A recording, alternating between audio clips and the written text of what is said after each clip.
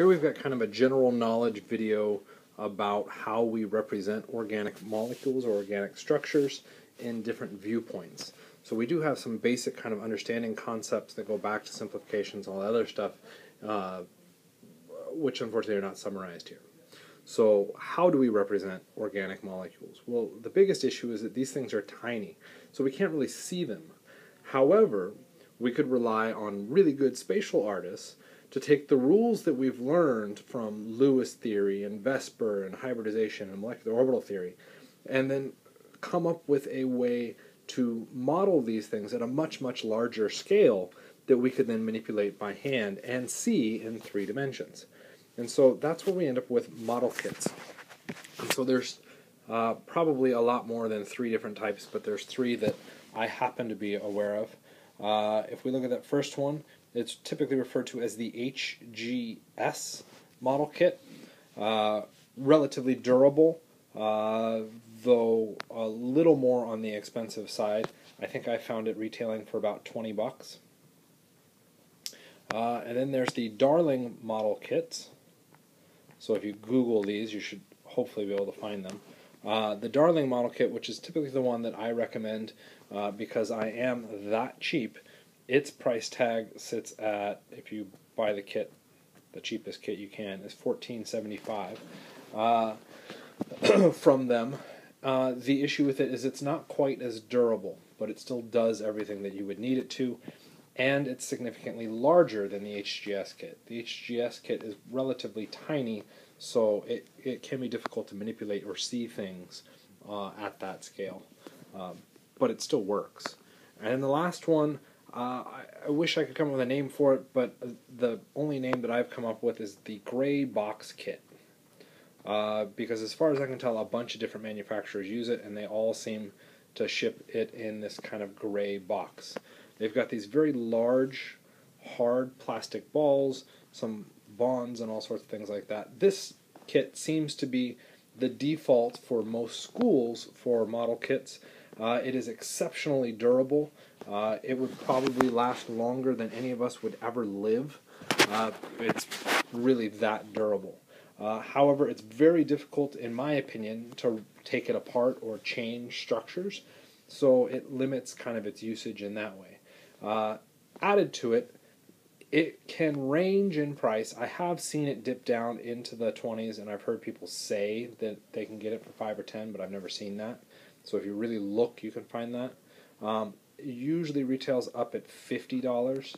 Uh, the last time I really kind of poked around it, there was a bookstore that was trying to sell it at like seventy or eighty dollars. So that kit, while more durable and may last for a really long time, most students won't need to spend that amount of money to get a good model kit. I still argue that the Darling model is the best, cheap, um, and still does all the same functionality that you would need out of the others. Uh, just realize it's well, cheap. So it will fall apart on you uh, if you push it to the limits. Uh, the big lessons that we need to remember from chemical bonding. Sigma bonds, okay, which are single bonds, have a direct overlap of the uh, hybridized molecular orbitals, uh, and that overlap will never change until we physically break the bond. This means that I can rotate about a sigma bond without any problems. So all of the model kits will allow for free rotation about a single bond.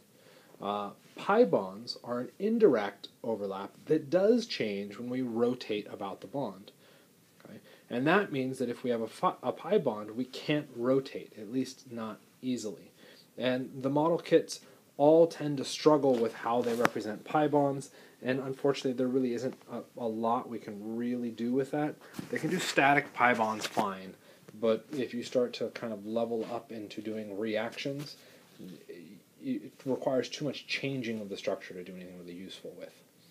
Uh, and then other little parts that come into play electronegativity determines the balance of the bond charge. So the more electronegative atom in a bond would become more negative, the less electronegative becomes more positive. So if we have a three dimensional model, we can start to see where those charges distribute through the structure and potentially cancel each other out or contribute to a net dipole. So the model can help us see and visualize that much cleaner than say if we just drew it out on paper.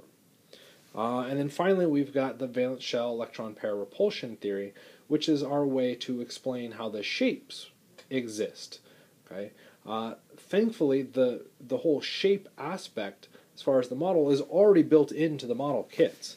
So if you're using the model kits appropriately, you don't have to worry about well where do where does everything go because the models are designed to only allow you those distinct shapes. Okay, so those can help us out. So uh, a couple things kind of come up with this. Models help with the three-dimensional aspect of how we visualize and see it. Unfortunately, all tests that you're ever going to take and probably ever going to take in an organic chemistry class are in two dimensions.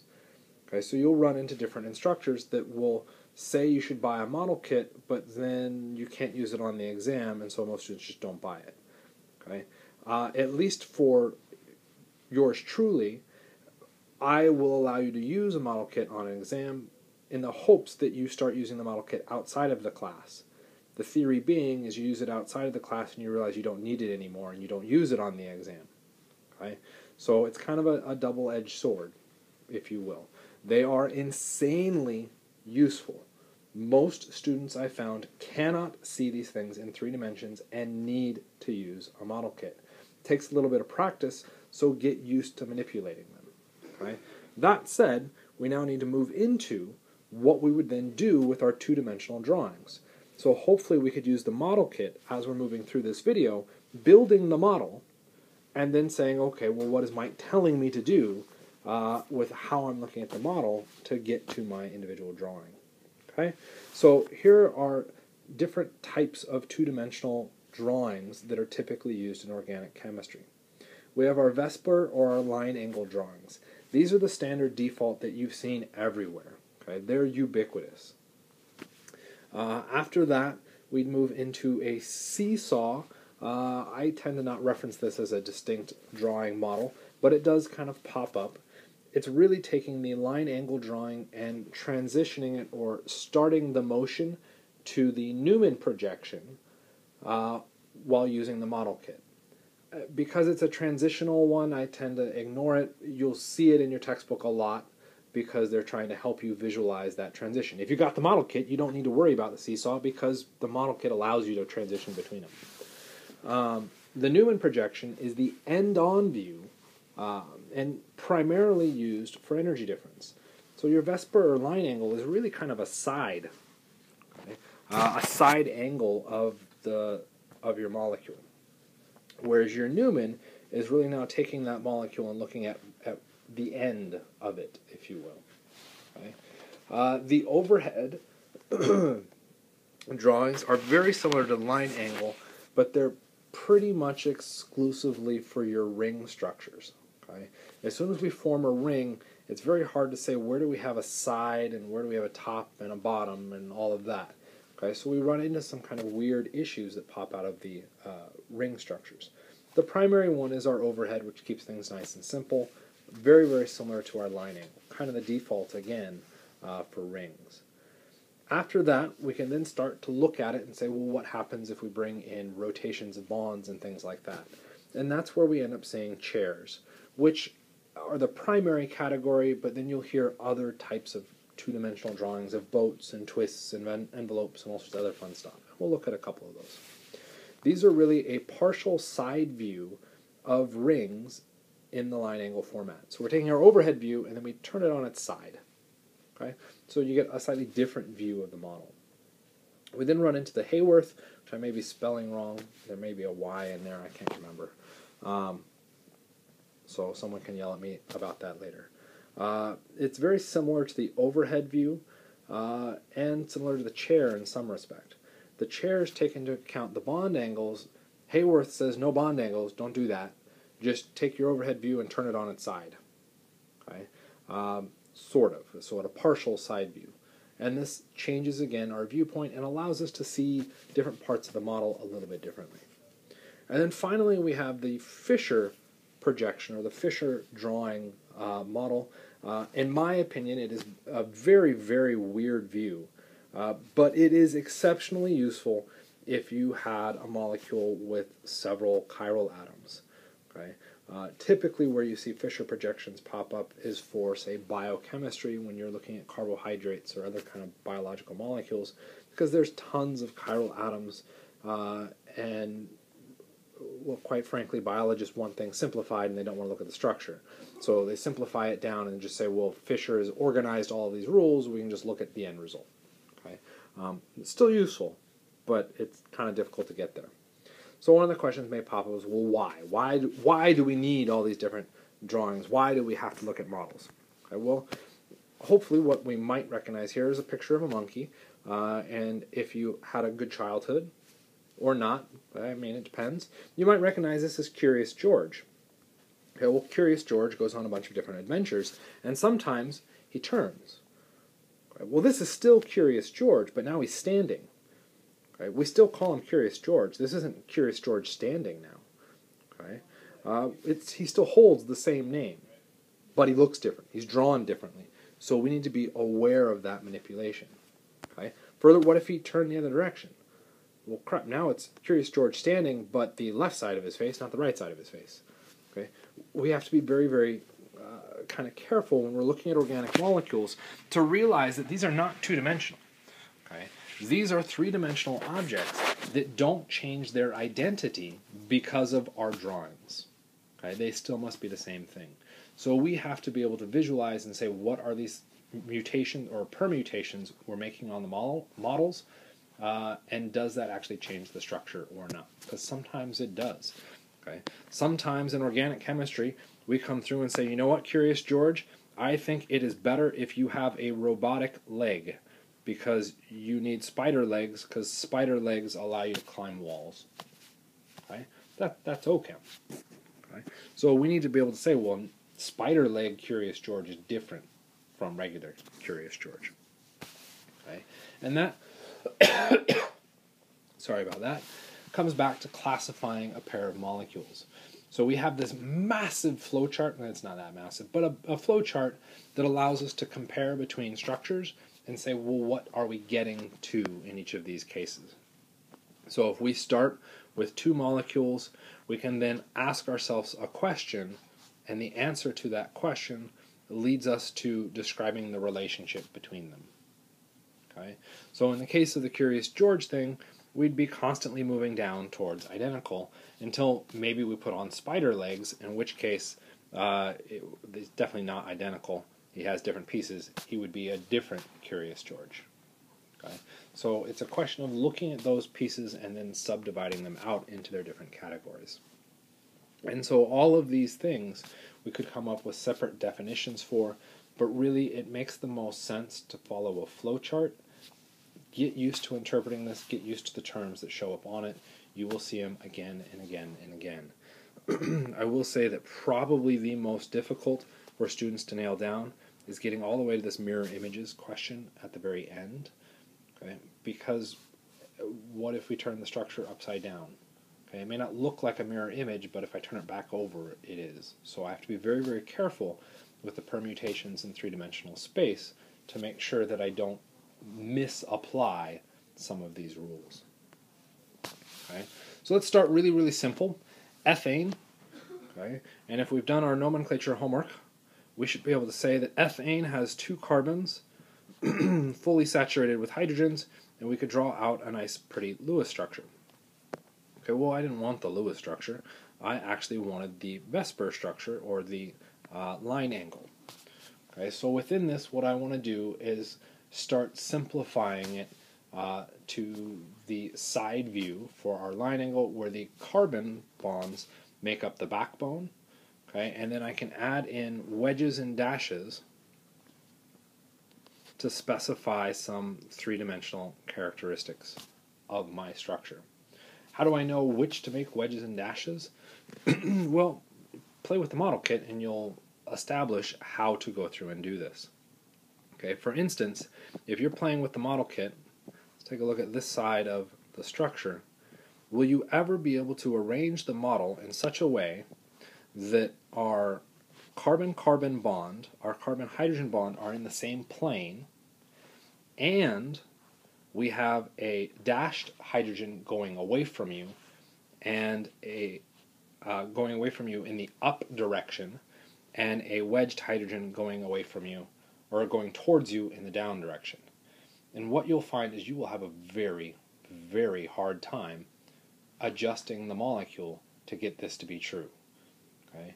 So that is technically a bad way to represent the structure because we can't physically get the three-dimensional model into this position. Okay?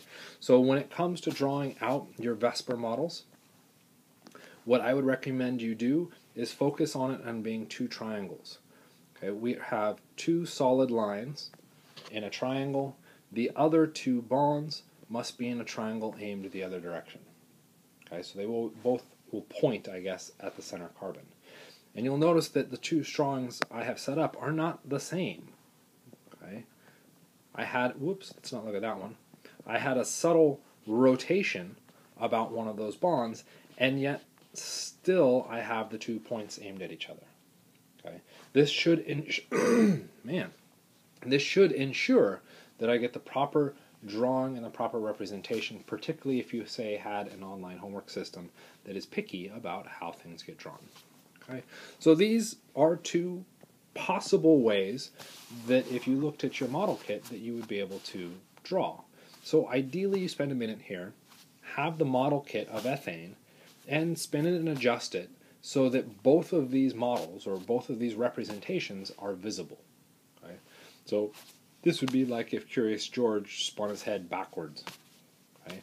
or turned his head. We get a slightly different viewpoint. Okay, well now what happens once we move out of the kind of standard format? Okay, well the seesaw model says that we're going to take our model and we're going to bring, in this case, notice I'm drawing the eye. The eye is kind of my vantage point on this.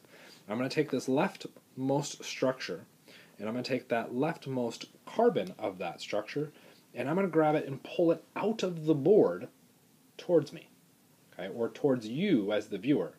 And then I'm going to pull it a little bit down. Okay? This will allow me to see all of the atoms, but in a slightly different view. Hopefully what you'll see would be something along these lines. And we now have a different viewpoint of our structure. Okay? This is the seesaw model. what happens if instead of bringing that carbon down, I'd actually kept it level and overlapped it with the other carbon? Well, this is the Newman projection. So I end up moving that left carbon up and over until the carbon-carbon bond in ethane disappears, is no longer visible to me. Okay?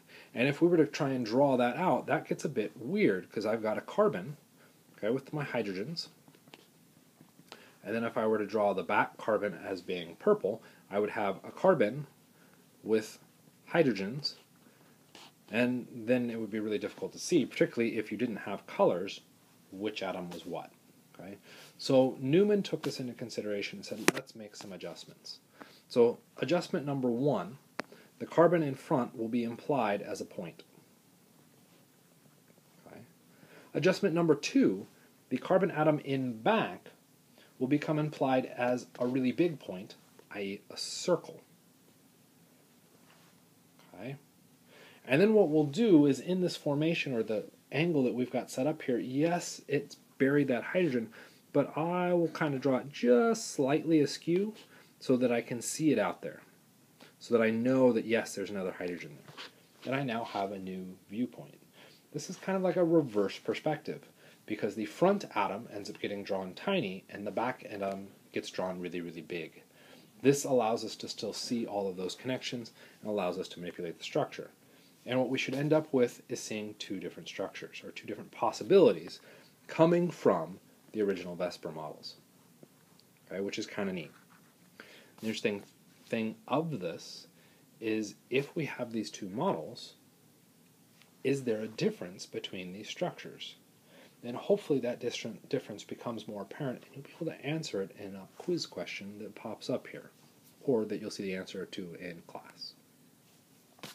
What happens when we move up to the cycloalkanes? Well, when we hit the cycloalkanes, we're now again putting in a restriction on our structure. If we have a cyclopropane, we can't rotate the bonds anymore without breaking the sigma bonds to get a rotation about them. So the ring tends to prevent rotation. So because of that, we're starting at the cyclopropane. We could then go through and draw an overhead view, where again, what we're trying to do is keep all of the carbons drawn in the same plane, so we can draw solid lines, because that's our main chain. And as we scale up and add more and more carbons in, one of the things that starts to happen is that we allow for some rotation. That some rotation is what really brings in the other shapes that we're used to seeing with our ring structures. If we wanted to, we could still layer in the VSEPR wedge dash. So if I went back to that propane or the cyclopropane, I could go through and say that these hydrogens were wedged and dashed, where the wedge is coming out at us and the dash is going away. If you're going to attempt to build a model, do not build a model for the cyclopropane. Okay? It will undoubtedly break your model kit. Okay? The bond angles are too tight. So if you want to build one, you can. You can probably get away with the cyclobutane uh, I think only the gray box kit can build the cyclopropane, and even that, it, it it's pretty pretty gnarly on. Okay, so that's our overhead view. We're just looking at it from the top, and if we wanted to, sometimes we do, we'll add wedges and dashes to imply the spatial uh, relationship of those groups back to our center ring. Okay. Uh, what happens when we have pentanes and hexanes? So again, I'd like you to take a minute here and build a cyclopentane and build a cyclohexane. Okay? And look at get that built and then turn it on its side and attempt to draw it from the side. Okay? Rotate some bonds and see if your structural viewpoint changes. And hopefully what you'll notice is that we end up on that side view with two possible representations we have the envelope representation for our cyclopentane. Okay? And this is because we're tetrahedral carbons. They want to be 109.5 degrees. So if we can, the structure will pucker and allow for that to happen. Okay? Same deal, we get something similar for our cyclohexane and we get our chair. So some people have a hard time seeing this, so let's look at some examples. Well, there's an example of an envelope. Okay, we have the, whoops, we have the base of our envelope, okay, and then we have the flap of the envelope that could then theoretically be folded over to seal our envelope. Okay? So our cyclopentanes have this envelope view. The chairs become significantly harder to see because really you can see a chair from any given angle uh, if your model is set right, and that becomes challenging you may likely, when you built your cyclohexane, you probably actually built the boat form and not a chair. So see if you can't twist it into this chair formation. And now see if you can't twist it into the chair formation. Okay? When we actually see where the chair is, where our back sits, or our back rests, where our legs rest, and then where our feet rest. Okay, so we're sitting in a, a lawn chair, kind of facing that direction. Neat. Okay. Were there other ways that we could look at these? Okay, well, the envelope, I could have grabbed that carbon of my envelope and I could have pulled it straight downwards, so it would have gone through a, a single bond rotation. In which case, it would have looked like that. Okay, arguably not as pretty, but that's fine. Could I have done a similar thing with the chair? Okay, well, I could have taken the back of the chair, where I put my head, and I could have pulled that down. Okay, this would take me to the, what I like to say is the upside down boat, okay, or capsized boat. But then if I follow that by taking my old footrest and rotating that upwards, I would then form a new headrest, and I'd have this conformation, okay, which is now my lawn chair However, my lawn chair is now facing the other direction. Okay? So what we're doing is doing some simple single bond rotations. In the case of the chair, what we're doing is what's known as a chair flip. Okay? So drawing chairs. This is a fun little one. Okay? Ideally, what I would do is focus on kind of a center line, and I would draw two lines that are staggered across that line. Okay, slightly angled. Okay, so one line is longer than the other. Ideally, that would have been through the center. That didn't work out. Longer on one side than the other. Okay. So then what I'll do is pick the left or right side. Doesn't really matter. And I'll start with the short line. So if I'm going to start here, the short line is the one on top. Okay? And I'm going to draw up or down depending on if that line is on top or on the bottom. Okay, well that line is on top, so I'm going to go up. Now that I've done that, I can go through, oops, I don't have an orange. Get an orange color in there, and I can complete that side of it. Okay. What do I do? On the other side, I do the same thing. I pick the shortest line, which will be this one. I'll aim down, and then I'll connect my triangle. And I now have my chair facing towards my right. Okay, what if I wanted my chair to face the other direction? Okay, well, I would then slope the lines the other direction. I do something like this. Up, down, and then down, up. And now my chair is facing the other direction. It takes a little bit of practice to get used to drawing chairs. I would highly recommend and encourage you to do so. For those of you that have not seen the chair yet, okay, by playing around with the model kit, that takes a little bit of practice. You might want to talk to somebody who has found uh, the visual for the chair. Okay. Um, now we then run into what happens with our chair flip. So if we took a look at a chair flip for the structure here, most students go through and draw something like this. Okay, so what they're saying is that we looked at the kind of axis coming out at you. We can draw that wedged, and we just spun the or spun the chair around. Okay, well, this isn't going to be a good chair flip because if our dude was sitting in that little chair, he has a very odd shape. Uh, he is now flipped upside down on the grass. Okay, uh, which is not nice. Okay? Ideally, we'd be sitting on the chair. So what we're talking about with a chair flip is that we want to adjust the back and the where's my button? Uh, the back and the feet of the chair so that my dude would then just have to get up and turn to face the other direction. Okay? This way, he's still sitting in the chair. He did have to get up, but he's no longer underneath the chair. Okay? This is now a proper chair flip. Okay? And what you should notice if you're using the model kit is that when we do this, this atom that was E, notice where it's aimed. It's kind of aimed out away from the structure. Okay? And the atom A is kind of aimed down underneath the structure. When we do the chair flip, what happened to atom E? Well, atom E is now aimed up above the structure, and atom A is aimed out away from the structure. So the chair flip changes the relative location of the atoms back to, to the chair. That's kind of an interesting feature. If we have a different arrangement in space, would that change the energy? Okay? Well, think about your instructor. Okay, they're standing in front of you, talking to you, uh, and now instead of standing in front of you, talking next to you, they are sitting in your lap and shouting in your face does the spatial arrangement between the atoms relative to different positions make a difference in the energy? At least I personally, as an instructor, would say yes. Yes, that would be very weird. I don't want to do that. Okay? So if this is going to change the energy, I need a better visualization. What's the better visualization for energy? Oh crap. That was my Newman projections. So what I can do is scale my Newman projections and do that with the chair as well. Okay? So if we've got the chair drawn in the lower left, we're actually sighting down two bonds to draw the Newman projection shown. So we have two Newman projections linked to each other through those CH2 bridges. Okay? Where the one up here would be where my headrest was of my chair, and the one down here is where my feet would be on the chair. Right?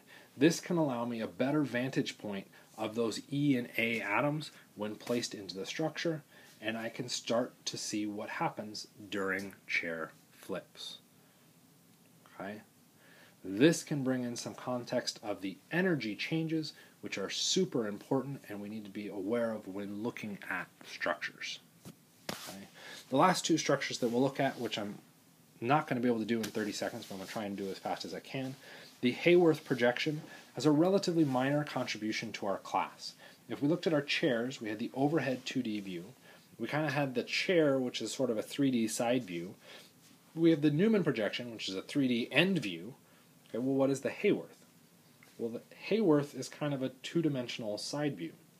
So we're taking the overhead drawing and we're turning it on its side, but we're assuming it stays flat, which isn't true, forms a chair. Okay?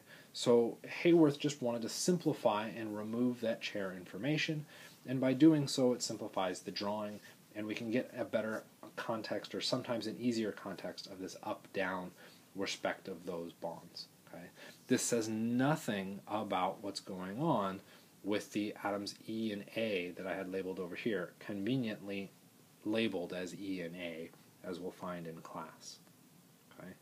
Where this comes in uh, majorly is with biochemistry when we're looking at carbohydrates. So we've got two uh, saccharides linked to each other to form uh, a polysaccharide, which is then drawn as such. So we can get a relationship between these. Okay? Some of those important relationships being, well, this oxygen is downwards in comparison to this CH2OH. So, well, why is that relevant? Well, if it was aimed upwards, we'd name it something else. Okay? So we can use the Haworth projection to help us classify and name our carbohydrates. So if you've heard of alpha or beta or D or L carbohydrates, it's coming back to kind of the Haworth projection and seeing how those things are oriented relative to each other. Okay, uh, and then I got pause here for a second. Hopefully I did that right. Speaking of carbohydrates, we have our last type of drawing, the Fischer projection. A biochemist was working with carbohydrates and noted uh, that the massive amount of stereocenters made it very difficult to draw and look at these structures. So our stereocenter is a carbon with four um, different things. I don't know why I said four plus, but four different things attached to it. So if we go through and look at the structure drawn, uh, these carbons all have four distinguishable groups attached to them. And so because of it, they have this special arrangement or special chemistry associated with them. Uh, and so what Fischer did was took that structure as drawn as our standard VSEPR structure and turned it into what we see on the right. Okay, you might say, well, why would we do that? Well, there's some information that comes out of the structure on the right that simplifies our interpretation and can make life a little bit easier. Um, however, we have to get there first. Okay, so how do we get there from the line angle? So here are some rules. You must orient the carbon chain on the vertical axis and always away. So that means every time you look at a carbon, uh, the carbon chain then goes away from you. The highest priority carbon uh, is defined to be at the top of the uh, Fischer projection. Okay, the priority is assigned according to the Cahn Ingold Prelog rules. And you're like, well, what are those? Don't worry about it yet. We will figure that out in a little bit or some other later time. And then the last part, substituents will then aim towards the observer, wedged to the left and to the right.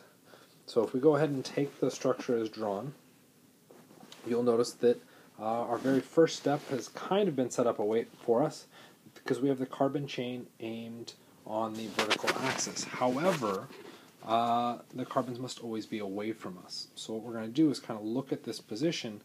Uh, actually, not even quite there. We want to set this up so that the carbons are all on the exact same line. Okay, so they're still zigzagged. So what we're going to do is take our eyeball and we're going to kind of view from the side here. If we go through and do that, what we'll end up with is the drawing as such. Okay, our very first carbon or second carbon here has the carbon backbone kind of going away from it if our again our viewer is coming in from this angle okay uh, if we moved the next carbon in the chain and then kind of look down here we'd notice that the carbon backbone is kind of aimed at us from that carbon and we move down to this one and then to this one uh, and then we don't worry about the last one because it's not a chiral atom okay and we would end up with a rough approximation of the drawing shown Okay, again, the carbon chain must always be aimed away. Well, the first carbon was fine. The second carbon doesn't have the carbon chain aimed away. So what we would have to do is rotate about the single bonds to get that to align. Okay? So if we did that rotation, we'll notice the OH then switches sides okay, to be aimed at us. The next position would already be set. We don't have to touch it. So it's left alone. And then the last one, we need a rotation. And that's what we'd end up with. We're now in what is the Fischer projection. Since we are now by definition in that position, I can imply all the dashes and wedges, and I end up with exactly what Fischer drew on the far right. Okay. Again, this does have some useful applications. Uh, it's just not super apparent, say, right now.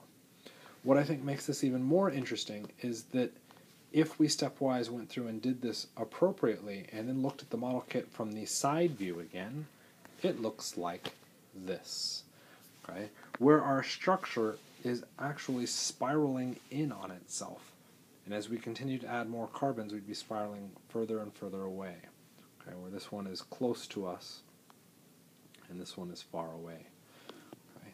Again, why? Well, having that straight chain can make things a little bit easier to interpret, and so biochemists tend to favor that method over looking at, um, say, a real structure.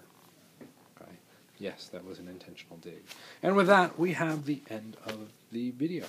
Okay, so thanks for watching. Hopefully that made sense to you. You can always ask questions later.